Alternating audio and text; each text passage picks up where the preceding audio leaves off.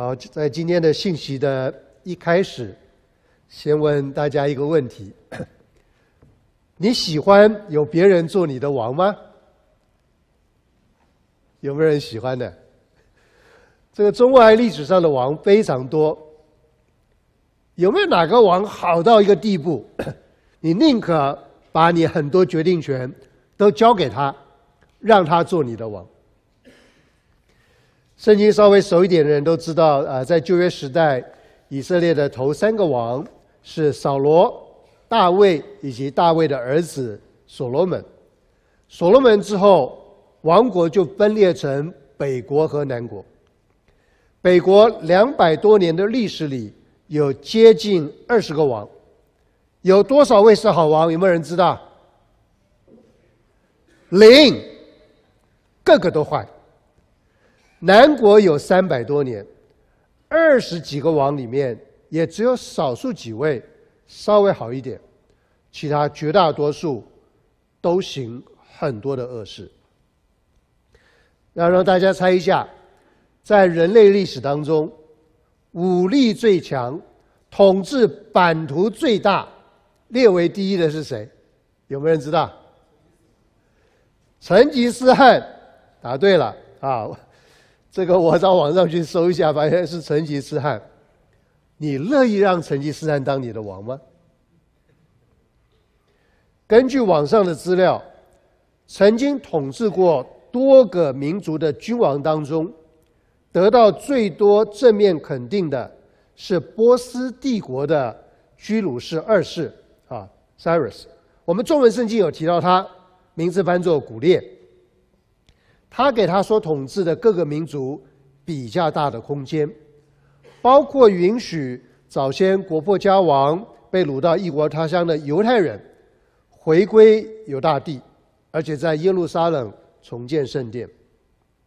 但古列有好到那个地步，让你心甘情愿交出你的许多决定权，让他做你的王吗？我们中国早期历史有出过几位贤君。尧舜大禹，如果你今天有选择的话，你会支持恢复皇帝制度，让他们做你的王吗？为什么不呢？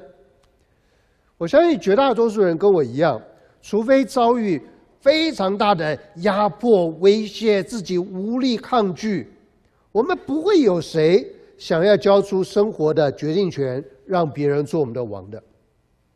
但是我们今天要读的经文提醒我们，几乎从人类的一开始，一直到今天，所有的人从一出生就活在两个坏王的统治之下。请大家打开圣经，翻到罗马书新约罗马书的第五章。我们今天要读罗马书的五章十二到二十一。手中有圣经的，尽量。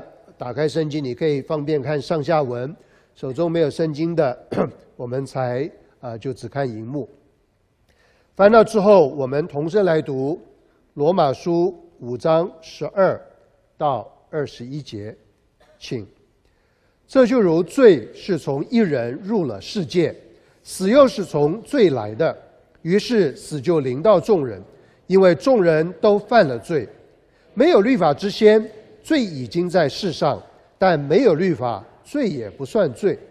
然而从亚当到摩西，死就做了王，连那些不与亚当犯一样罪过的，也在他的权下。亚当乃是那以后要来之人的预象，只是过犯不如恩赐。若因一人的过犯，众人都死了，何况神的恩典与那因耶稣基督一人恩典中的赏赐？岂不更加倍的领到众人吗？因一人犯罪就定罪，也不如恩赐。原来审判是由一人而定罪，恩赐乃是由许多过犯而称义。若因一人的过犯，死就因这一人做了王，何况那些受洪恩又蒙所赐之义的，岂不更要因耶稣基督一人在生命中做王吗？如此说来，因一次的过犯。众人都被定罪，照样因一次的异行，众人也就被称义得生命了。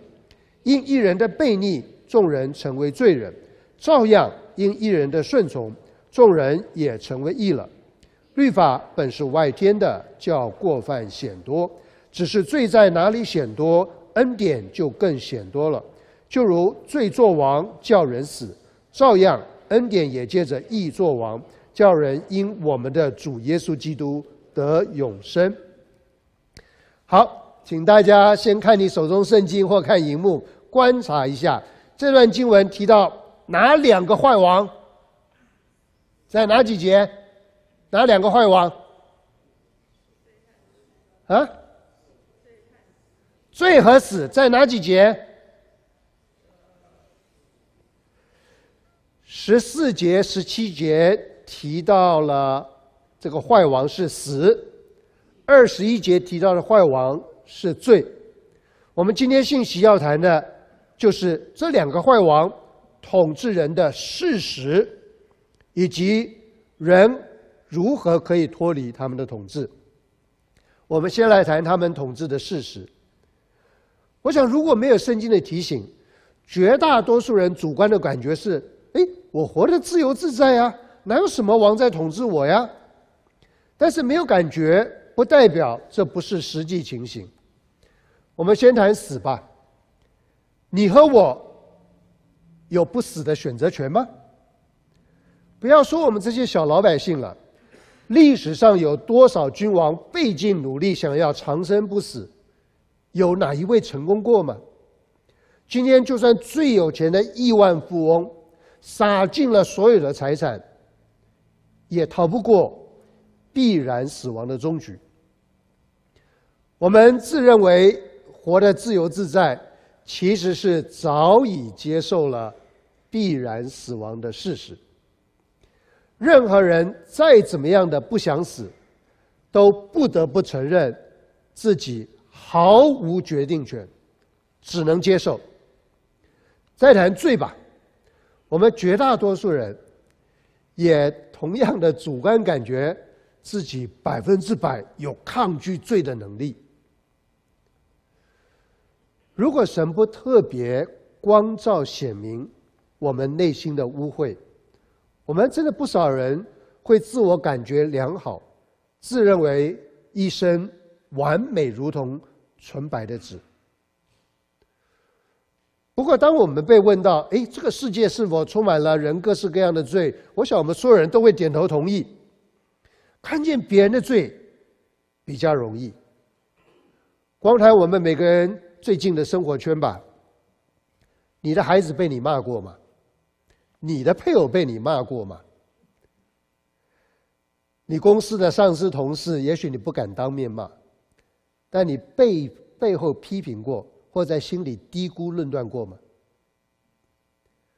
好，你的孩子和配偶都有被你指出可责之处，你自己就从来没有做过明知不该做的错事吗？你说出明知不该说的话吗？你的家人会尊崇你是品格完美的圣人吗？上个周末啊，我的恩师苏文龙牧师，呃，两个周末前哈，苏文龙牧师师母来带领灵命更新特会。所有聚会结束之后，那我和我的好太太就陪他们在奥斯汀稍微走一走啊。大家知道这张照片是在哪里拍的？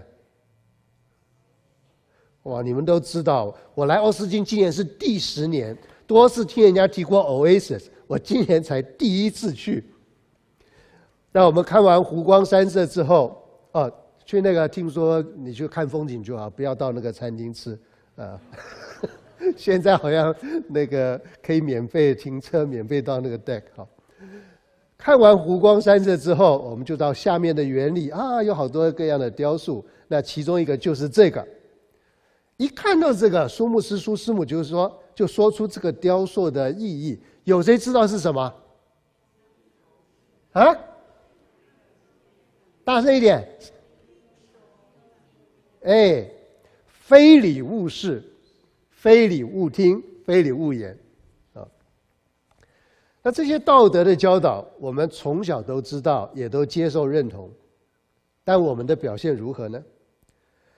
单单讲非礼勿视吧。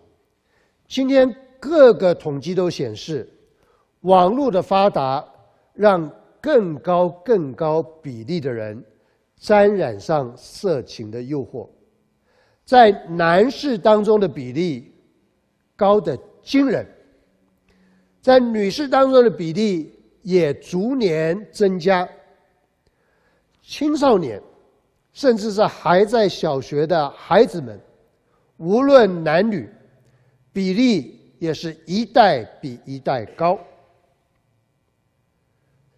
值得强调的是，看色情东西的人当中，绝大多数的人内心觉得这些东西是污秽、是羞耻、不该看、有罪恶感，但后来还是去看，自己曾经打定主意。再也不看的。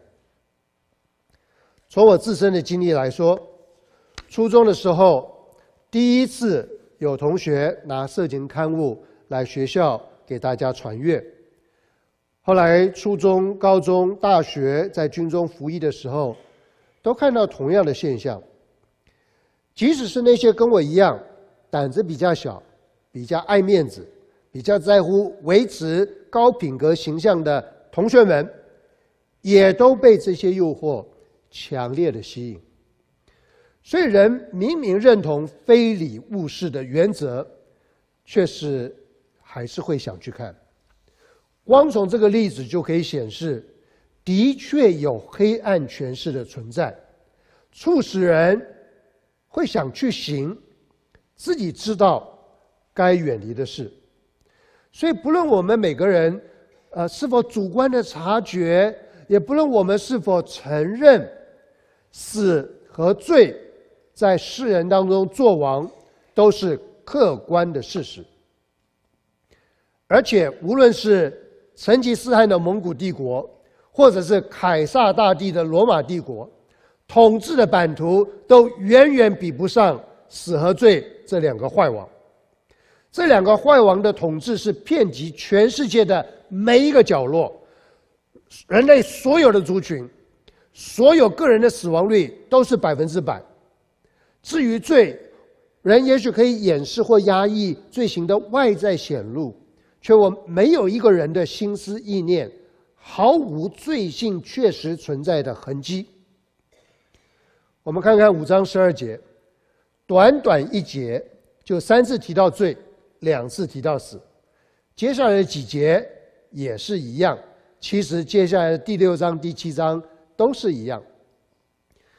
那我在讲罗马书第三章的时候，曾经提过，三章九节是“罪”这个字以单数、专有名词的形态第一次出现，而且被描述成是一个可以控制人的权势。那在五章十二节之前，这个单数专有名词形式的罪。只有在三章九节和三章二十出现过两次，但是从我们今天开始读的五章十二节起，一直到八章的六节，出现了啊这个呃呃到八章十节出现了四十二次之多。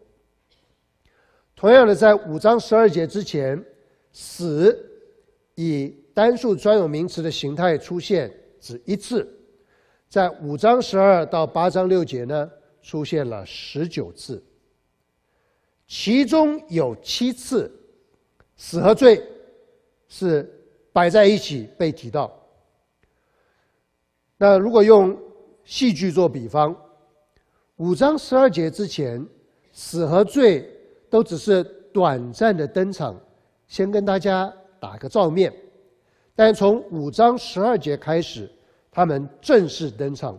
一直到八章的前半部，都站在舞台的中心，担任主角，演出的分量最重，是焦点的所在。那我用主角或主角来称呼他们这两位，完全不夸张，因为在五六七章里面，罪真的被描述的是像人一样，他会做王，会人会顺从他，会付工资给他。他会抓住机会，他会引诱人，他还会杀人。所以他们不是消极被动的东西，而是类似人一样，在非常积极的采取行动，那么死和罪是从何开始作王的呢？五章十二节到二十一节的一大要点就是告诉我们，所有世人之所以从一出生就落在死和罪，全都是因为人类的老祖宗一个人，也就是亚当。那先看一下我自己根据这段经文做出的图表。那五章十二节说，罪是从一人入了。世界，这个人我们知道就是亚当，他所做影响全人类的一大一件大事，就是他在伊甸园里面没有遵守神的吩咐，吃了神清清楚楚吩咐他不要吃的果子。那他做的这件事情，十四节和十六节说是犯罪，十五、十六、十七、十八、二十。称这是过犯，十九节说这是悖逆。他犯罪悖逆的结果是什么呢？十二节说罪就从他入了世界。不但如此，罪又带来了另一个后果，就是死。那十四节说死做了王，二十一节说罪作王。亚当犯罪背逆神之后。罪跟死这两个坏东西就一起进了世界，而且一起作王。他们影响的当然不只是物质世界，最大的影响是众人，也就是全人类。十二节说，于是死就临到了众人。在十二节最后又补上了一句：“因为众人都犯了罪。”这个补上的这一句，就让我们不得不问一个问题。死临到众人，到底是因为亚当的罪，还是众人自己的罪？为了免得大家打瞌睡，临时抽考，请你跟你旁边的人两个人或三个人讨论一下，到底我们这个呃会会死，到底是因为亚当的罪，还是众人自己的罪？分享讨论一下。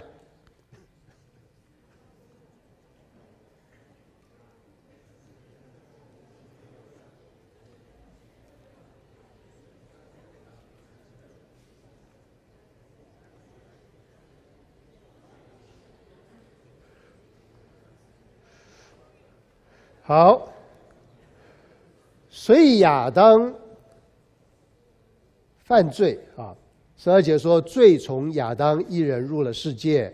十九节因亚当的悖逆，众人成为罪人。二十一节罪作王。所以亚当犯罪，把罪性带进了我们全人类。罪作王，我们每一个人都在罪的权势之下，我们。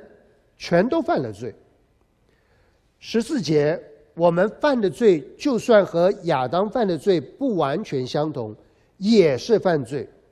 我们每一个人在罪的权势之下，都各自犯了自己该负责的罪。死灵到众人，不能光怪亚当，而是因为我们众人都犯了罪。所以不只是罪作王，死也作王。再看一次。这个我刚刚做的这个图表，这是亚当犯罪带给我们全人类的影响。亚当是上帝创造的第一个人。亚当这个名字在希伯来文原文里面意思就是人，他是全人类的代表。世界上所有的人都是从他而出。那五章十二到二十一最主要的重点，不是停在亚当害了全人类，落入悲惨处境。而是要告诉我们，神已经为我们预备了得救之道，也就是耶稣基督。这段经文里面有许多耶稣与亚当的比较，当中有很多是类比，就是他们的相似之处。在五章十二到二十一节里面，啊，这十节经文里面，一人或一次这两个词出现了十二次。而众人也出现了八次。刚刚我们看的是亚当的罪是一个人，他一个人影响众人。现在加上基督的部分，绿色的部分，强调的是耶稣基督的救恩也是一人影响众人。这段经文里面还多次用“就如什么什么什么”和“照样”啊，那这是什么意味呢？也是类比，在讲后者与前者相似的地方。十二节一开始的“这就如”，目的是要说明，就如亚当一个人对全人类造成影响，照样，耶稣的救恩也可以影响全世界。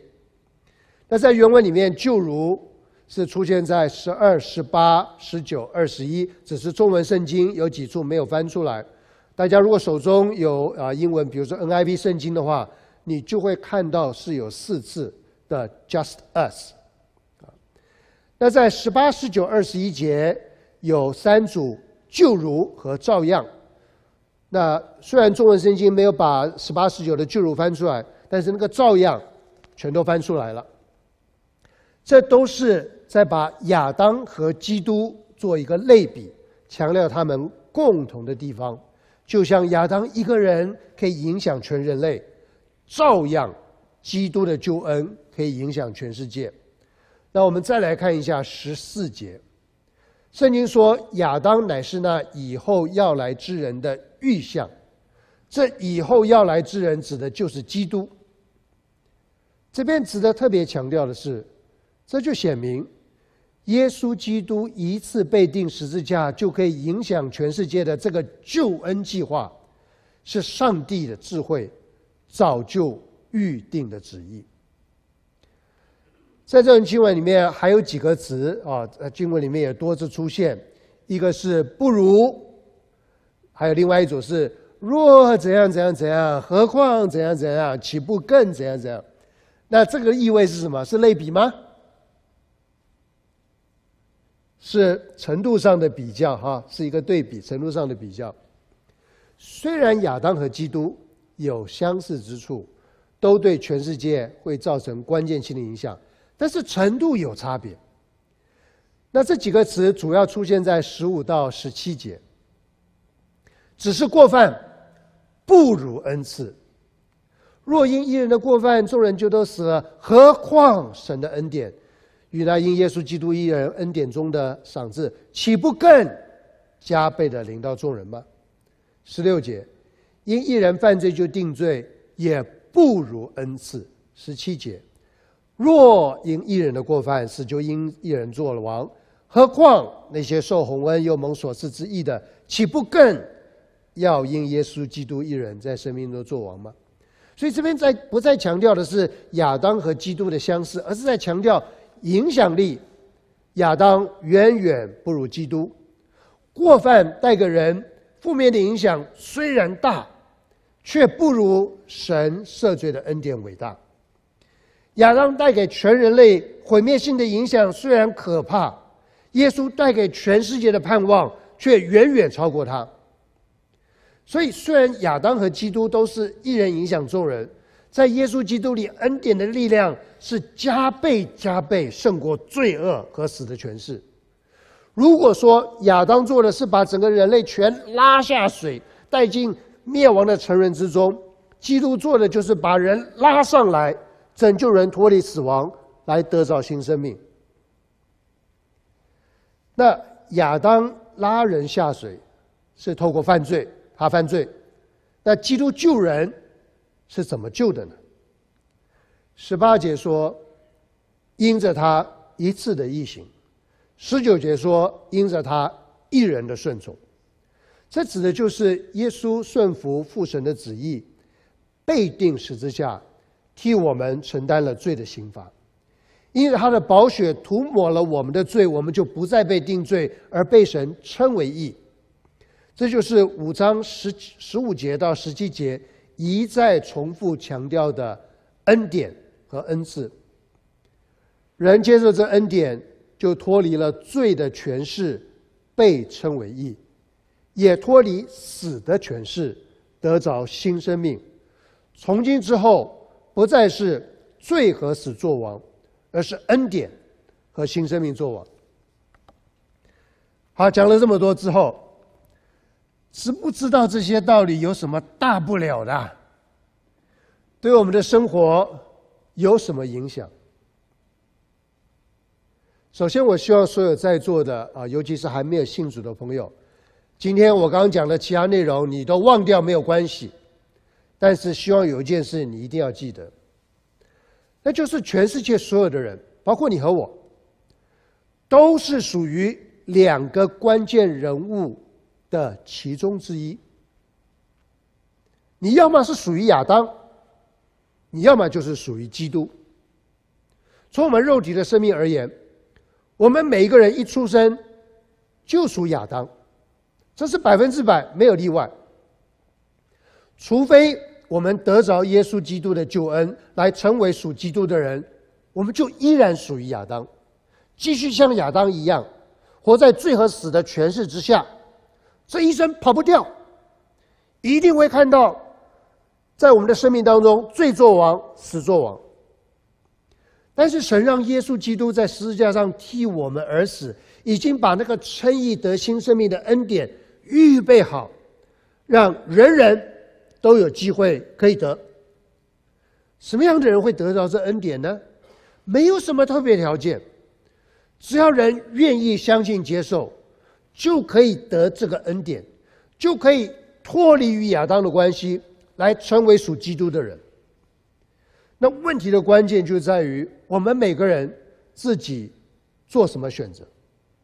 你是选择继续属于亚当呢，还是你选择要来属于基督？很多人都说：“哎呀，不想太早做选择。”其实你拖延一天接受基督，就是在选择多一天继续做属于亚当的人。也就是选择让罪和死多一天在你的生命中做王。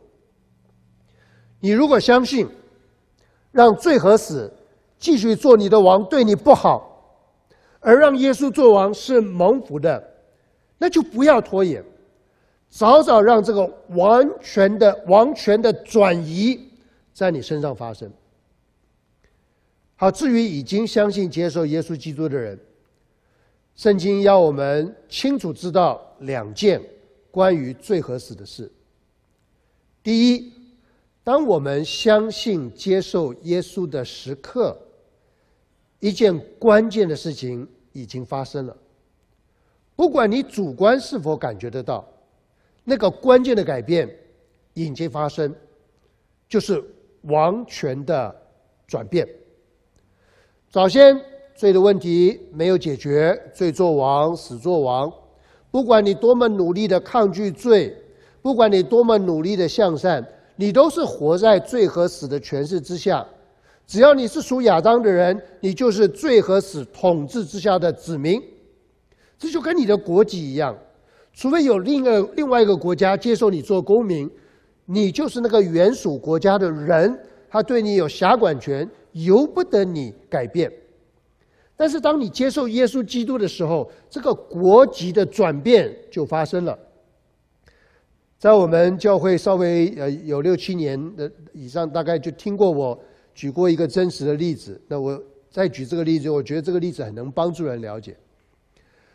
四十多年前越战期间，很多的婴孩成为孤儿，这里面包括很多被遗弃的混血儿。那当南越即将战败的时候，美国福特总统基于人道，下令派专机去把这些孤儿接来美国，给那些愿意认养他们的家庭收容。当时情况非常的紧急，因为除了年岁不等的那些小孩之外，还要救很多才出生不久的 babies。那光派这个军用的运输机来不及啊，所以许多民航机的飞行员和空中小姐出于爱心。都自愿冒生命危险去救那些婴孩。你从这张照片可以看到，一架七四七大型客机上，座位底下，座位上摆满了一个个装着婴孩的这个 car seat 或 carrier。很多参与这个救难飞行任务的人牺牲丧命，包括三十八位非军职的飞行员和空中小姐。但是因为他们爱心的行动，有两千两百多位孤儿被救了出来。当这些孤儿们搭上飞机的时候，国籍的改变、王权的改变就已经发生在他们身上。虽然他们当时根本无从体会这个改变对他们未来的影响到底会有多大，这个改变都已经发生，而且是实实在在有效力。那圣经要我们知道。当你相信接受耶稣基督的时候，那个国度权柄关键性的转变就已经发生。这是我们每一位已经蒙恩得救的基督徒，在面对罪和死的问题的时候，第一件要尽可能清楚知道的事；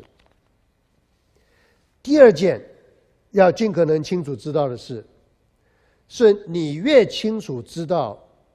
你在新国度里的身份地位和权利，你就越有可能在你的生活当中经历那个国度一切的大能和丰盛。当初这两千多位孤儿来到美国，不到几个月，所有的孤儿啊都有家庭认领收养他们。然后后续的调查显示，这些孤儿当中有非常高的比例，后来有非常好的发展。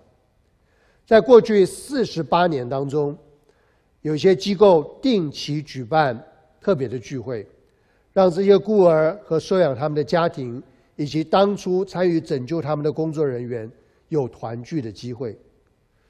比如说，在其中一次团聚，有两个人非常惊喜的重聚，他们当初曾经在越南的孤儿院里玩在一起，来到美国之后，三十多年分散在不同的地方，没有见过面。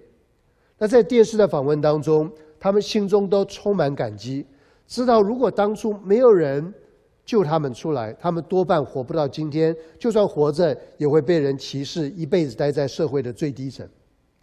那因为被拯救带到新环境，他们得到新身份，得到接纳，得到爱，得到机会。如今一位是医生，一位是医生助理，都有好的生活，而他们都知道这全是恩典。我们基督徒也是一样，也许你刚信主的时候，你不明白救恩的宝贵，但是如果你更多认识明白，你在这个恩典当中的地位和福分，你的生活态度，以及你的经历，都可以很不一样。那在这边有一件事情值得大家特别留意：我们仍然活在亚当里的时候，圣经说是。罪在做王，死在做王，但现在，请你看看，我们属于耶稣基督之后，这段经文说，谁在做王？大声说，谁做王？啊？恩典做王，很好。还有呢？啊？谁做王？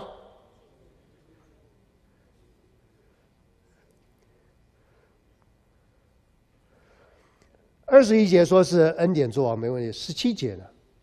谁做王？是信主、领受神恩典的人做王，而我们的做王，当然是借着耶稣基督做王，是与他一起做王。我们与他的关系越紧密，就会越多体验到与他一同做王的实际。所以，一方面，在我们相信接受主的时候，那件关键性的改变已经发生；另一方面，在因信称义之后，我们越多明白这个恩典的宝贵，存感恩的心来相信他，依靠他，紧紧连接于他，多多支取他的恩典，我们就会更多经历到我们在这个恩典和新生命当中与基督一起作王。这是基督徒因信得生，向罪和死夸胜的。一大关键。几个星期前，啊，我参加这个福音性研经的小组查经的时候，带查经的姊妹在一开始，请大家分享参加葬礼的经验。很有意思的是，每一位分享的人，不论是已经信主的，或者是还没有信主的，哎，都有一个共同的体会，就是他们第一次参加基督徒的葬礼的时候，非常惊讶，整个的气氛与自己过去参加过的葬礼大不相同。我自己亲身的经验也是如此。我才信主之后不久，我在洛杉矶的团契里面有一位弟兄有家人过世，那是我第一次去参加基督徒的葬礼。去之前，我因为受了从小到大所有经验的影响，哎呀，心中嘀嘀咕咕，有很多的惧怕。但是去了之后，我非常非常的惊讶，基督徒的葬礼竟然可以美丽到让我深受震撼。从那天之后，接近四十年当中，我参加过多到数不清的葬礼。对我来说，毫无疑问，基督徒的葬礼的的确确有充充足足的理由，与其他葬礼大不相同。虽然同样的，身体的死亡会让亲爱的人突然有了隔绝。再也无法像原先一样面对面的说话或者是拥抱，所以这自然会还是让我们伤心难过，而且这个伤心和思念也有可能会持续相当长一段时间。但是基督徒的葬礼与其他葬礼大不相同，还不仅仅是因为牧师主持的方式不同，或者牧师以及大家在葬礼当中所讲的话不同。我发现。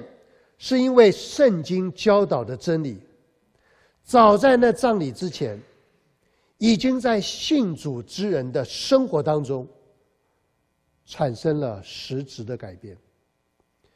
随着每个基督徒在主里灵命的成长，我们自己对于自己在基督里的身份地位有越来越清楚的认知，那就在身体的死亡临到之前。已经感受到身体的死亡不再如早先以为的可怕，因为知道我们在基督里已经确确实实有了永恒的生命，我们也可以随着基督向死亡夸胜。举我父亲做例子，他年轻的时候一直拒绝福音，后来对他来讲是很不幸的。他的三个孩子一个接一个信主。那我父亲之所以开始每周去教会，每天早上四点多起来读圣经，完全是为了要救他的孩子，脱离他认定是谎言的信仰。但后来我的母亲也想信主，这就把我父亲给急坏了。但是感谢神的怜悯，我父亲七十岁的那一年，在一个福音营的最后一天早上。圣灵触摸到他内心的深处，他就出乎我们所有人的意料之外，表示他要信耶稣了。接下来的十一年里面，我们看到他的身体是一步一步的退步，但灵命却一点一点的成长。他最后一次到教会敬拜，他因为又有 Alzheimer 又有 Parkinson，身体已经非常的虚弱。但在唱诗敬拜的时候，他心中有强烈的感动，他还是使尽全身的力气站起来唱。但是没想到，可能是耗尽了太多的体力，后来突然休克。还好教会里面有弟兄是医生，立即给他急救，救活了以后赶快送医。那因为在那天之前的两周，我才特别回洛杉矶上去看他，所以他这次住进医院之后。就特别交代，啊，叫他们跟我讲，专心在教会侍奉，啊，不需要再急着跑一趟。接下来几天，我父亲在医院的情形也的确渐渐的稳定。那我母亲、姐姐、哥哥都在洛杉矶，他们都可以轮流在医院陪伴。有一天早上，我姐姐和母亲啊陪伴我父亲，有早上的灵修，为他吃过早餐，然后让他啊闭目养神休息。那我姐姐和母亲陪伴在病旁旁的时候，我父亲突然睁大了眼睛，向上观看，脸上的表情就好像看到了什么非常美丽的景象。那我母亲一开始还觉得哎蛮有意思的，然后突然意识到我父亲大概要走了。我母亲的第一反应是想要立即按铃，叫医生和护士来急救。但是我的姐姐经验丰富，里面成熟，她看到我父亲那个美丽的神情，就轻轻的对我母亲说：“Let him go，妈，让他平安的回天家吧。”我父亲就安息了。如今十六年过去，我母亲回想讲到这件事情，她都是感谢我那灵命成熟的姐姐。虽然那一天我接到我姐姐的电话，一听到消息，我腿就软了，就跌倒在地上。之后我也因伤心思念哭了很久很久。其实现在有的时候思念我父亲。也会一时情绪激动，但是我父亲的葬礼真的非常美丽，如同圣经诗篇一百一十六篇十五节所说的，在神眼中看圣明之死极为宝贵。那一直到今天，我都踏踏实实的感觉到，更是满心感谢赞美神，全家人都蒙恩，脱离那个死亡罪恶权势的咒诅。有耶稣基督做我们的王，我们的主，是何等宝贵的恩典！我们一起祷告。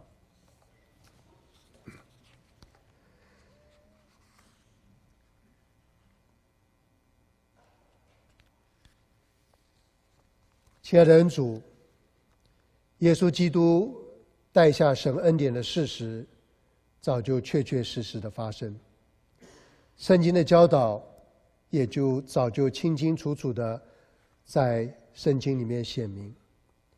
相信天父的心意是要我们所有属神的儿女更深的明白这些恩典的宝贵，好好的珍惜。相信天父的心也是不断的在召唤我们还没有信主的朋友，早早的选择接受神的恩典。从此不再属亚当，而属基督，能够进入那有丰盛生命的恩典当中。求主在我们这个教会继续来施恩，让整个教会，我们每个人都可以感觉到那丰盛的恩典正在我们当中，圣灵在运行，把每个人更多带到神的面前来，因为神要向我们赐的恩典。之丰富是超过我们能够想象的。愿主继续做工，听我们的祷告，奉主耶稣基督的名，阿门。